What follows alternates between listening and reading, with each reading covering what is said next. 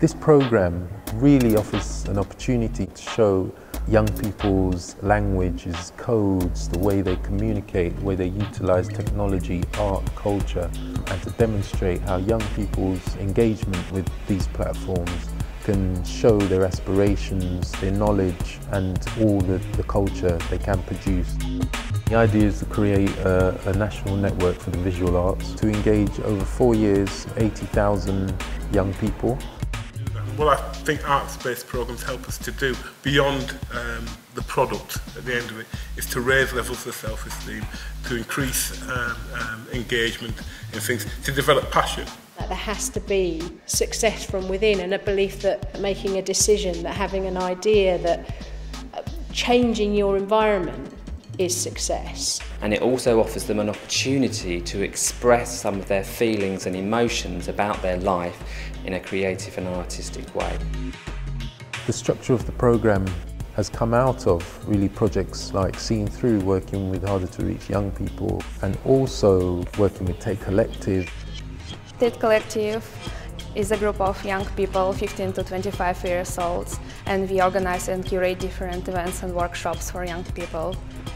I really like Tate Collective meetings, uh, like pushing forward ideas, deciding which artists we would like to use. I've joined Tate because of that, and they mix everyone together and they, they all interested in one subject that is art. We have four Tates across the country.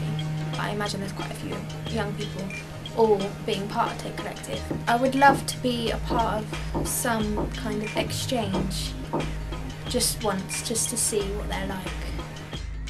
I'm involved in Tate because I love it. I've been involved with various projects. It's a beautiful hot day today at Loud Tate. Damien Hirst likes to portray one thing but also make it contradict to another. So that's why the event is called Oxymoron. I like to get involved with the actual planning.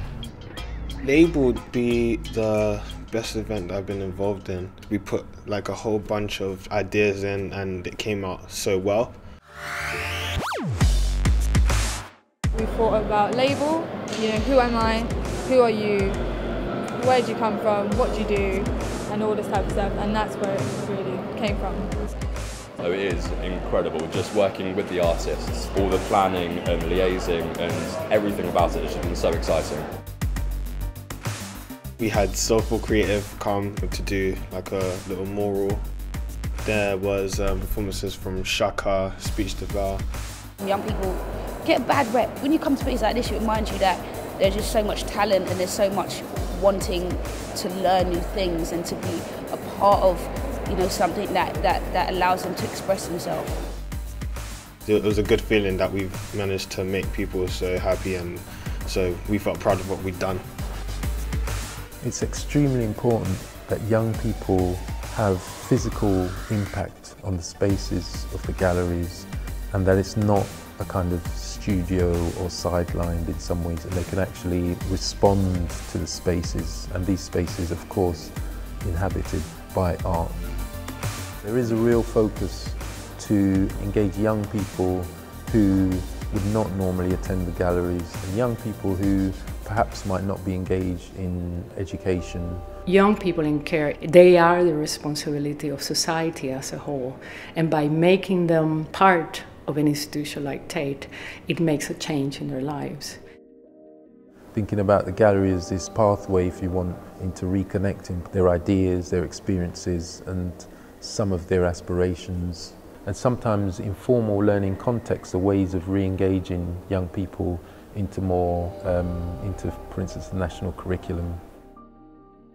The artists in Tate were willing to work with what the young people were saying.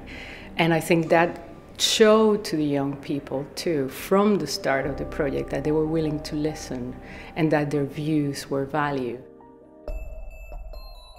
Being in Tate Collective has affected me in the sense that I've gained a great insight on the art world um, and other artists and this has really genuinely contributed to my work in terms of school and at home as well in a great way.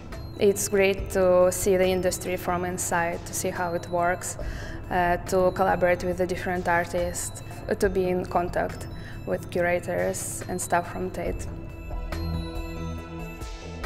The ways in which young people generate program is very cutting edge sometimes and also thinks about the wider context of galleries and museums.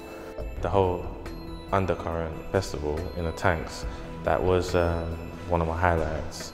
I got to see the space transform into so many different things. Got to see a lot of artists change the movement of how people get involved with their works. And I also got to co-curate a few workshops on that festival.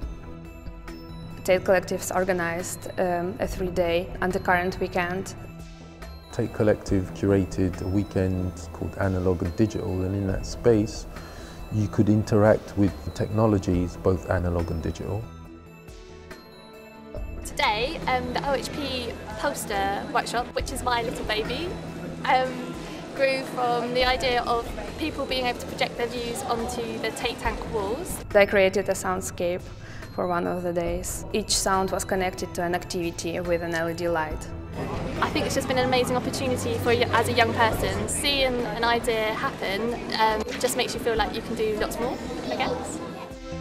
The tanks did present a space for new ways of considering how you might engage with art and participate in art practices, etc. But I think the way in which Tate Collective connected with it, with young people in mind, was a real kind of multi-layered experience. This moment is really an opportunity for us to expand on what we've learned about how so many different forms of visual culture or visual art or performance art or, or art action or participatory art actions can actually be really important in how we connect to new audiences. It's a huge, far-reaching and impactful project.